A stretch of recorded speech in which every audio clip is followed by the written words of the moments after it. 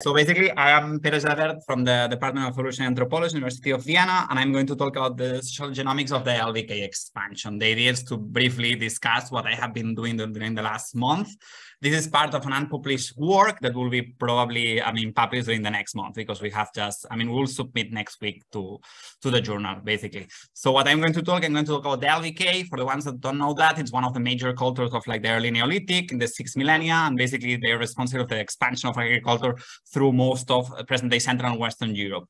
There are some differences that we call like the Eastern LBK and the Western, and our idea was to see if that correlates to something genetic. As I have said, it's a continental phenomenon that has differential uh, characteristics in the, in the East and in the West. I mean, it's sedentary groups that organize in long houses, which we intuit that there were like big sample, big, big groups of people, and they show regional differences I have said before.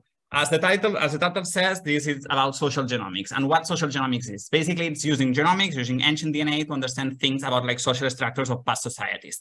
For doing that, there are two things that are important. First is to, it's to do whole cemetery analysis. That means that analyze all individuals of cemeteries to gain like insights about culture. And the second one is get like big sample sizes because if not, we don't get um, like clear ideas which were our research questions. Basically, we wanted to see, as I have said, that there are two archaeological cultures. Are these two different people? Can we can we track the expansion of these people through genomics? Can we see if the people are unequal or do they have different mating patterns? There is a specific question about the Schletz I will talk later. And apart from that, why are we sequencing that many genomics genomes?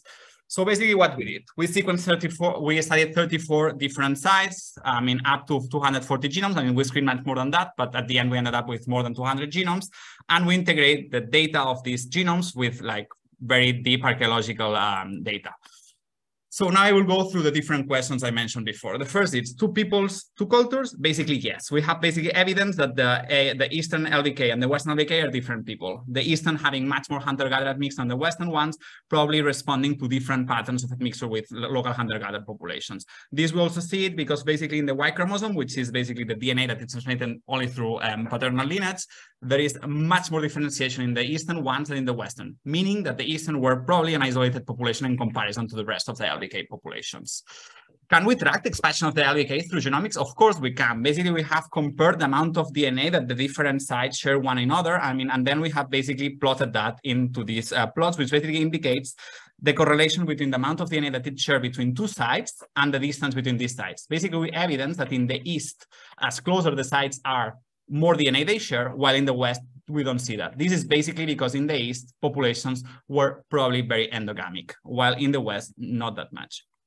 We also correlate this information, as I said before, with this uh, plot here that we see that the people in the East, the ALPCs, basically are much more, uh, they have much more inbreeding than the people in the West. So again, we are getting much more clues than there is two differential populations, one always in the East being much more hunter-gatherer, much more inbreed, and with much more connections regionally, but not across Europe then uh, can we use ancient DNA for understanding like social patterns and, and, mating patterns? Of course we can. And this is basically what makes uh, DNA exciting for most of archaeologists, because basically we have been able to, um, to find out that the LBK are probably a patrilineal um, society because they share mostly like, I mean, if we compare the amount of relatives per site, taking, I mean, separating males and females, we see that males have much more relatives in cemeteries than females, indicating that probably the societies were patrilocal and were women the ones that were moving.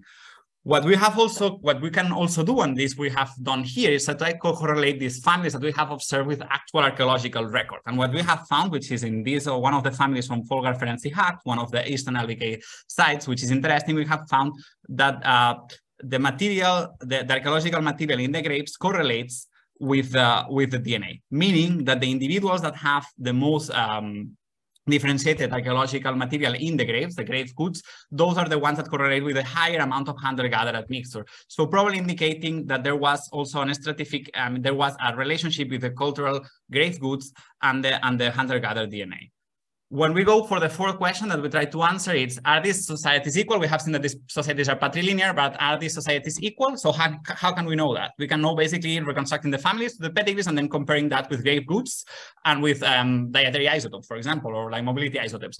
What we have found is that we have not found any kind of association between family and dietary isotopes, meaning that we cannot say that LBK societies were unequal probably they were quite equal because all the differences that we have seen between carbon nitrogen, they basically are within families, as you see here, that not between families. So families were have very different values of carbon and nitrogen within the family, but they are not statistically significant between the families, indicating that all the variability is it's within the family.